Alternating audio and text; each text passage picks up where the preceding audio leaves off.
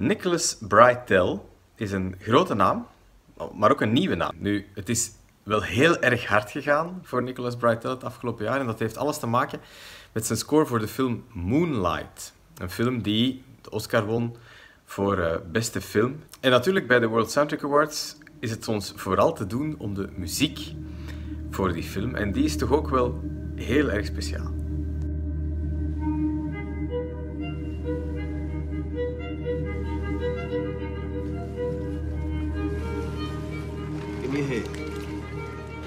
Ik heb een scène gekozen waar uh, de muziek echt een hele grote rol speelt. Het is een, uh, een scène uit eerder het begin van de film. Uh, Chiron is nog kleiner, wordt Little genoemd en heeft geen aanwezige vader. En de vaderrol wordt een bepaalde periode in zijn leven opgenomen door een zekere Juan, dat is een drugsdealer met een goed hart.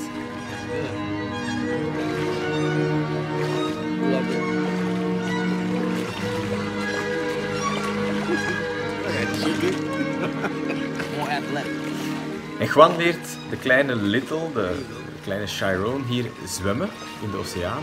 En het is een prachtige scène, een scène vol liefde, vol mededogen. Het gaat over vertrouwen geven, uh, over ja, een vaderrol opnemen, vriendschap opbouwen.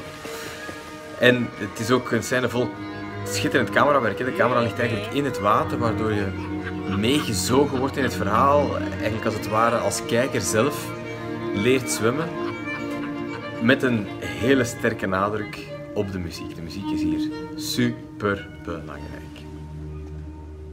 Het wordt een beklijvend moment, want uh, we gaan dit uitvoeren op de World Soundtrack Awards, Brussels Philharmonic. En vooral de eerste violist, uh, Henry Raudales, gaat daar een prachtige solo in spelen. En ja, met de maker in de zaal, en dan heb ik het niet alleen over de maker van de muziek, Nicholas Breitel, die er gaat zijn, maar ook de regisseur, uh, Barry Jenkins zal er zijn.